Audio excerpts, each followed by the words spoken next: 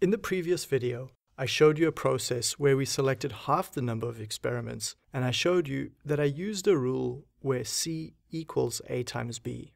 Now we shouldn't automatically use these rules. Let me show you where I obtained it from. What I am showing you here is a table that describes how you can do less work in a way that you can still recover most of the information. This table doesn't really have a name that I'm aware of, so I call it a trade-off table, because it allows me to plan and budget for a set of experiments where I can trade off the costs with the information I hope to obtain. You're going to see this table several times again throughout the rest of the course, but for now, remember how in the previous class we did four experiments and we had three factors in our system? On this table, we can locate ourselves over here, in the top left corner, with four runs and three factors. In this entry in the table, we are told to generate C as the product of A times B. Now remember in the wastewater example where we had factor C, T, and S? That would correspond to setting factor S as the product of C times T if we were using those factor names. When you're dealing with your case and your factor names are different, simply replace them with ABCs temporarily to use this trade-off table. Now I guess you're curious about that plus and minus sign here. If I use the minus, it says to generate minus C as the product of A times B. In our wastewater example, that would translate to minus S is the product of C times T. If you created your design following the rule with the minus sign, you would notice that you'd end up with the closed circles on the original cube rather than the open circles. But notice the symmetry. The closed circles still have that same collapsibility we noticed earlier with the open circles. Now with so many learners from a wide range of backgrounds in this course, I know that some of you might have difficulty with the math that follows. Be patient, watch it all unfold here on the screen, and I'll explain it in the end in plain language. We're hoping to appeal to those of you with a technical background and also those of you with a non-technical background. So let's get started with that math. Start by writing out the standard order table. Three factors means that there are eight experiments. But in the last video, I showed you that the best four experiments to pick are either the open circles or the closed circles. Let's work with the open circles. They corresponded to rows 2, 3, 5, and 8 from the original standard order table. So I'm going to remove those other four rows, the experiments we didn't run, and leave only the four behind that we actually ran. Now I'm going to slightly rearrange them for you. Put row 5 first, and then the original row 2 and 3, and then finally the original row 8 becomes our fourth row. Notice that columns A and B are in standard order and that column C is the product of A and B. In a prior video, I showed you the matrix form for a three-factor system in the context of the wastewater treatment example. The matrix form adds extra columns for the two-factor interactions and an extra column for the three-factor interaction. There were eight unknowns in that vector B.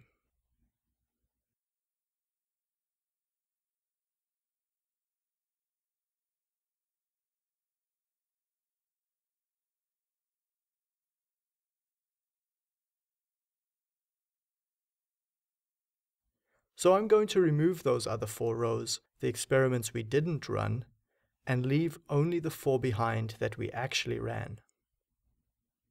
Now I'm going to slightly rearrange them for you. Put row 5 first, and then the original row 2 and 3, and then finally the original row 8 becomes our fourth row.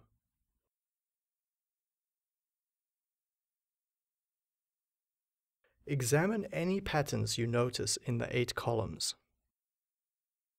Did you pick up on the similar columns in the matrix? For example, notice that the column AB matches the column for C, and that the B column has the same recurring pattern as the AC column, minus, minus, plus, plus. The BC column matches A, and finally the ABC column matches the intercept column. What you need to take away from this explanation is that you notice the same pattern reoccurring in certain columns. What this means is we won't be able to tell those columns apart from each other. Telling columns apart is critical. In the prior full factorials, perhaps you noticed that each column was unique and independent. This helps us know the unique contribution of that factor to the outcome, the y variable. What does it mean if we cannot tell the columns apart? Let's use A and the BC columns as an example. By doing this fractional factorial from a mathematical perspective, those two columns appear to be the same. We use the word alias to describe the situation. Now you may be familiar with the word alias as used in the English language. For example, if I asked you, who is Jorge Mario Bergoglio? You may not necessarily know, but you do know his alias, Pope Francis. We all have aliases. In the real world, my family and friends know me by my full name, Kevin George Dunn. But online, my alias is my email address or my username for a website. So an alias simply means we have another name for something else. Back to these experiments, where the alias for A is B times C. There are three other aliases. B is the alias for A times C, C is the alias for A times B, and that one was intentional, remember? We chose to set C as the product of A and B in our design. Finally, the last alias is the three-factor interaction between A, B, and C is aliased with the intercept. Now, when I talked about not being able to distinguish between A and the BC interaction, or not being able to tell their columns apart, that is a consequence of aliasing. The effects of A and the effects of the BC interaction are aliased or mixed up with each other. So if there's a large effect size, it might be due to A or it might be due to the BC two-factor interaction. We won't know until we run more experiments. The term confounding is used to describe what is happening here. That means after doing the reduced set of four experiments, you will never really be sure whether it was A that caused the change in the outcome or whether it was the two-factor interaction, BC. Confounded is a word that means confused. It means the effect of A is confused or mixed up with or confounded with the BC interaction. We cannot tell them apart. A is an alias for BC and BC is an alias for A. That's the price we pay for doing half the experiments. And in some cases, it is a price that is worth paying. Let's review the math. Those with a background in this sort of thing will recognize that one way to solve a set of underdetermined equations, where there are more unknowns than equations, is to collapse these columns together to achieve a square system that can be solved. Now you can see algebraically how this confounding develops.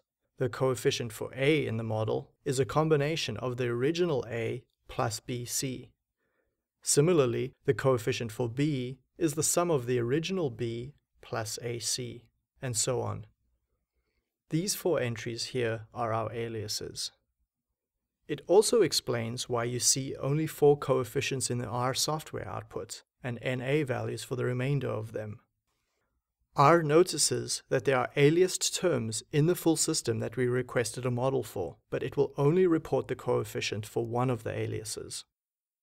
To end off the class, you might be concerned that you've lost quite a bit of information by using a fractional factorial. To end off the class, you might be concerned that you've lost quite a bit of information by using a fractional factorial. In the next video, we see the situation isn't quite so bad. Using prior knowledge about our process, we can actually benefit from knowing about the aliases. Now hopefully this video has not left you too confused or confounded just to summarize, there are three new terms that you must be comfortable with from today's class. Half fractions, aliasing, and confounding. We're going to use them a lot more in the next class.